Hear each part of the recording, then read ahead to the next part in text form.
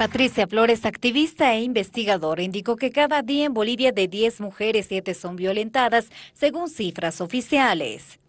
Donde las principales víctimas, además de las mujeres, son los niños, es la familia, es el entorno social que hace a esta relación de pareja violenta, la que naturaliza y la que de algún modo em, es como una un entorno cómplice silencioso de esa violencia. Entonces la problemática es tremendamente grave y no es casual que desde los medios naturalicemos esa violencia. ¿Por qué? Porque en el fondo del problema estamos y seguimos viendo a la mujer como un ser subalterno Señaló también que el feminicidio se ha convertido en el problema social más grave que vive la sociedad boliviana. Carmiña Dubrek, socióloga especialista en género, indicó que Bolivia registró 108 feminicidios en la gestión 2018 y que estas son cifras preocupantes. Además, es la familia donde se construyen las feminidades y las masculinidades, que son resultado de un patriarcado demasiado complejo. Es un sistema de relaciones violentas, autoritarias, que este, subordinan a las mujeres, ¿no? que las tienen como así eh, subordinadas justamente, pero eh, cuando tú tienes una sociedad con leyes, ¿no? con normas, con derechos y un montón de cosas, las mujeres empiezan a reivindicar esto y el patriarcado, o sea, este cúmulo de violencia eh, sobre las mujeres y llegando a matarlas, ¿no? O sea, es un tema muy, muy difícil. Entonces, pueden haber muchas medidas, pueden haber, o sea, tenemos la ley 348, la reglamentación, tenemos un montón de cosas, pero es eh, el entramado social, la familia, ¿no? La que eh, todavía no empieza a entender el tipo de sociedad a la que deberíamos empezar a formarnos, ¿no? Por su parte, la psicóloga Marinés Salazar señaló que en los primeros días de esta gestión se detectaron cuatro feminicidios y que estamos en una etapa de decadencia. Siempre existió la violencia, pero hoy se ha incrementado en cantidad y en magnitud. Ahora existe crueldad hacia las mujeres.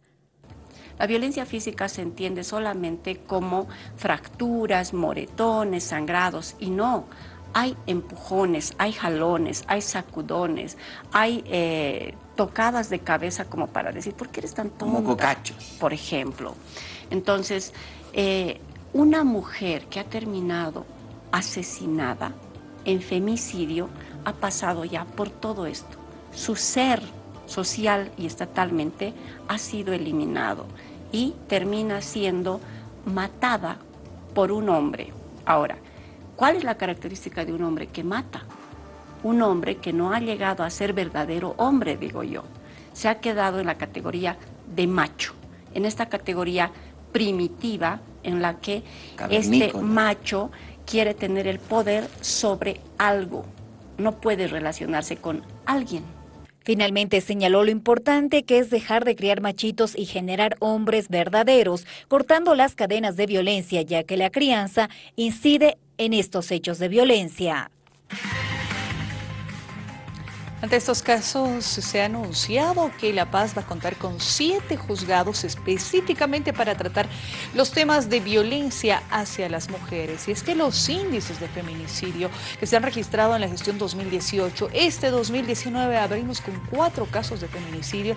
Esto ha preocupado evidentemente a la población y se requieren estos juzgados especializados en tratar los casos de violencia hacia las mujeres. La Paz contará con siete juzgados de violencia contra la mujer en esta gestión. La finalidad es de acelerar los procesos donde afectan a un sector vulnerable que son las mujeres. Se están aumentando ahora, ¿no? En La Paz van a ser cuatro y en la Ciudad del Alto van a ser dos. Se están aumentando, tres van a ser en el Alto.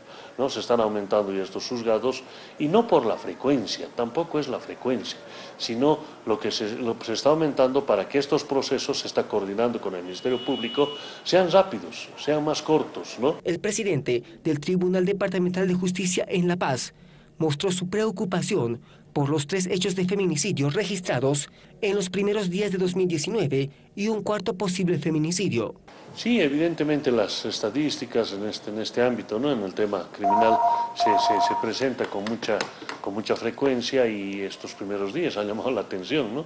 que en dos, tres días de este año ya, ya tenemos una, una cifra alarmante.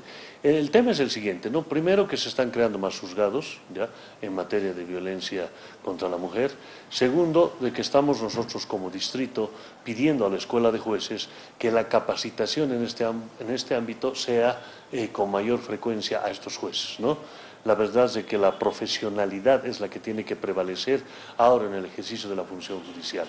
Para el presidente departamental de Justicia, la prevención es muy importante, ya que jueces solo llevan adelante el proceso con el hecho ya consumado. Por el otro lado, también tenemos que trabajar con otros niveles del Estado los niveles municipales, los niveles departamentales, el nivel nacional.